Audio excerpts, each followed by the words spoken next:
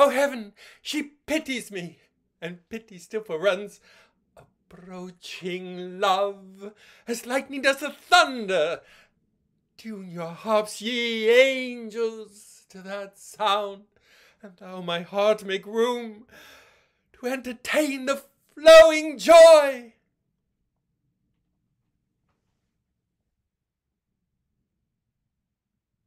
But I have been in such a dismal place, where joy enters, which the sun cheers, bound in with darkness, o'erspread with damps, where I have seen, if I could say I saw, the good old king majestic even in bands amidst his griefs, most venerably great. By a dim, winking lamp that feebly broke the gloomy vapours he lay, stretched along upon the unwholesome ground, his eyes cast low. Ever and anon the silent tears stole down and trickled from his aged cheek.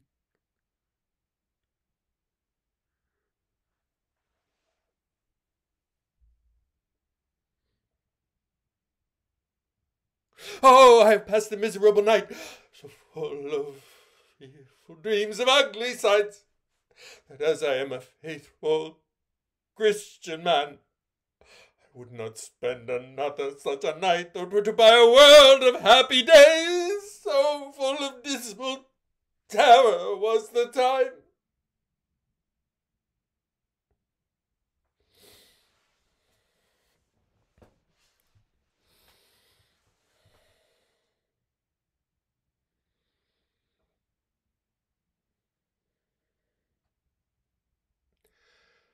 Now imitate the action of a tiger. Stiffen the sinews. Summon up the blood. Lend fierce and dreadful aspect to the eye. Set the teeth close and stretch the nostril wide. Hold her the breath and bend up every spirit to its full height. I say my sister's wronged, Monimia, my sister, born as high and noble as Castalio. Do her justice, or by the gods, Alesina blood shall make this dwelling horrible to nature. I'll do it! Hark ye, my lord, your son Castalio. Take him to your closet, and there teach him manners.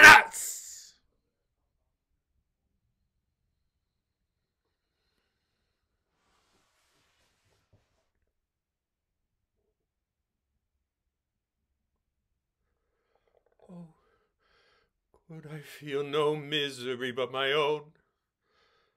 How easy were it for this sword to free me from every anguish that embitters life. But when the grave has given my soul rest, where shall my miserable wife find comfort? Unfriended and alone in one's bleak storm. Not all the angelic virtues of her mind will shield her from the unpitying world's derision.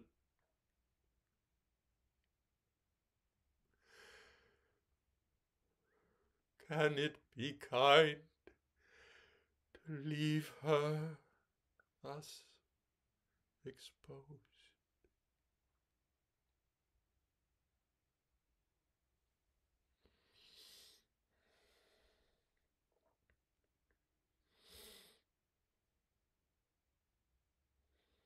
Bear back thy fulsome greeting to thy master. Tell him I'll none on it. Had he been a god, all his omnipotence could not restore the radiancy of majesty eclipsed. For aught besides, it is not worth my care. The giver and his gift are both despised.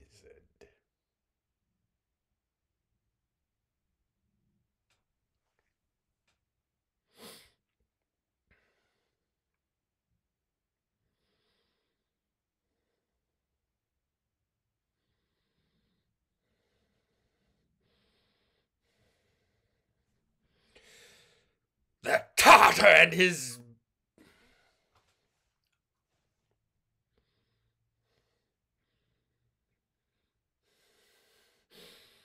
The Tartar is my bane.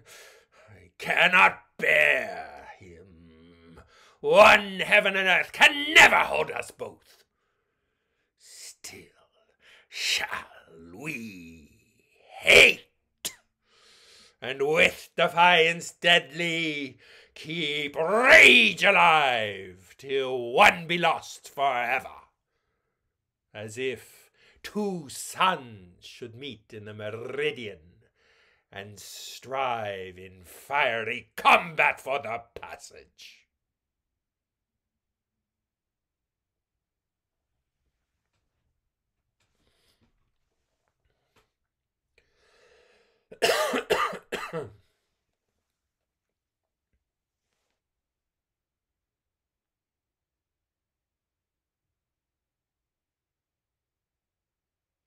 Why dost thou echo me?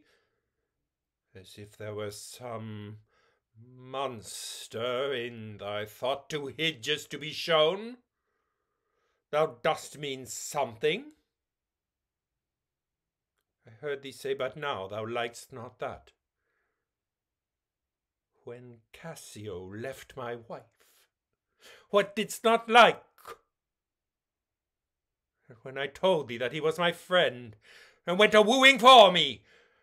With thy brow bent and pursed up, thy answer was, Indeed. If thou dost love me, tell me what thou thought'st.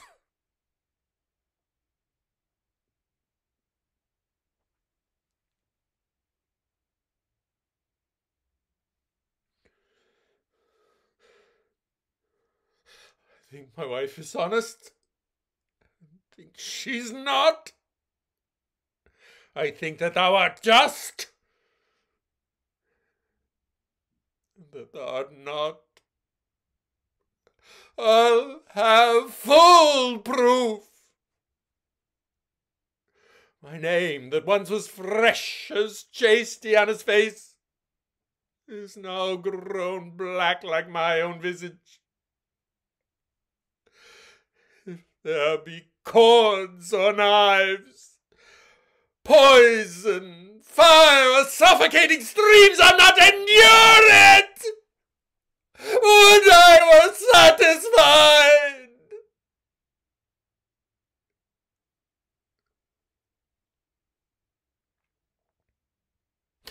Angels and ministers of grace, defend me! Be thou a spirit of light, or goblin damned. Bring with thee airs from heaven, or blast from hell. Be thy intents wicked or charitable? Thou comest in such a questionable shape. that I will speak with thee?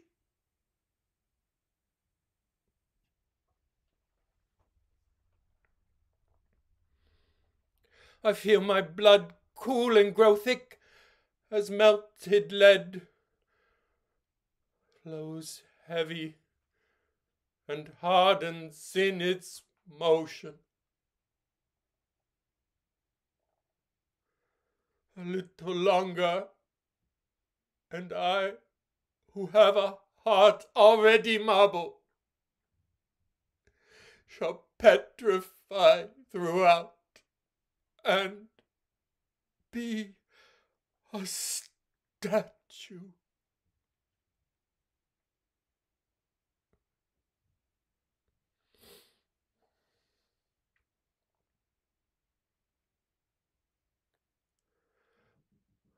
Why have those piercing eyes so ill distinguished the reverence of my ardour?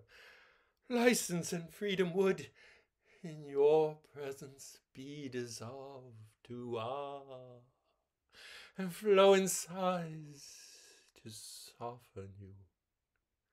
That hand, oh, give it me, and I will swear upon it that my charmed spirit ne'er rose till now in such a tide of ecstasy that heaven has left your sex in shade to light up you with every grace that swells desire in mortals or gives your guardian angel pride to view